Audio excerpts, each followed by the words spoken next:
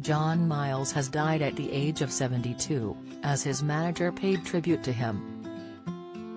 The singer was best known for his hit song Music Was My First Love and It Will Be My Last back in 1976. John was best known for his career as a rock music vocalist, guitarist and keyboard player. He reached the top three of the UK chart back in 1976 and is also known for working with Tina Turner, Grace Jones, and Stevie Wonder. Alongside this, he was a regular performer at the BBC proms every year. The musician died on Sunday at home in Newcastle, as his family released a statement. This read, we are devastated to have to announce that Mr. Music John Miles sadly passed away peacefully after a very short illness. He was a loving husband, father and grandfather and we will all miss him more than any words could ever express. He will live on forever in our hearts and with the wonderful musical legacy he has left behind. You are our first love and will be our last. His manager of 50 years also shared news of his death, according to the Mirror. He said, John was not only so kind and gentle but a brilliant musician and songwriter on the world stage. His cause of death has not been shared publicly. The Newcastle-born singer back his career working in local bars in his home city before moving to London in 1973. He landed a record deal and produced a number of hit songs, including High Fly, Music, Remember Yesterday, and Slow Down.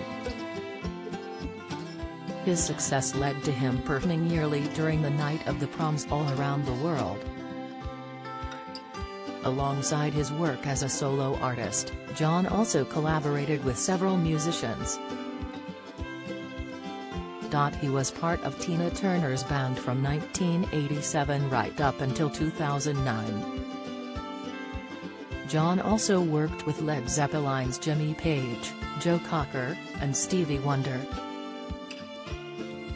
Following the news of his death, many have taken to social media to pay tribute to the star. BBC Music presenter Lizo Mzimba wrote, very sad to hear of the death of multi-talented musician John Miles, best known for his hit music his words echoed what music means to so many, music was my first love, and it will be my last. Music of the future, and music of the past. X Factor star Joe McElderry wrote, such sad news. Rest in peace lovely John Miles. It was a pleasure to sing with you and have you play for me a few years back. A local legend. My thoughts and love go to all your family and friends. Within Temptation posted, in this world of troubles, my music pulls me through. For a lot of us music is their first love. Am so sad to hear of John Miles passing at only 72 years old am proud to have had the honor to perform with him at At Night of the Proms. In this world of troubles, my music pulls me through. For a lot of us music is their first love. I'm so sad to hear of John Miles passing at only 72 years old am proud to have had the honor to perform with him at At Night of the Proms, broadcasted by Retros, at NPO2 and at VRT.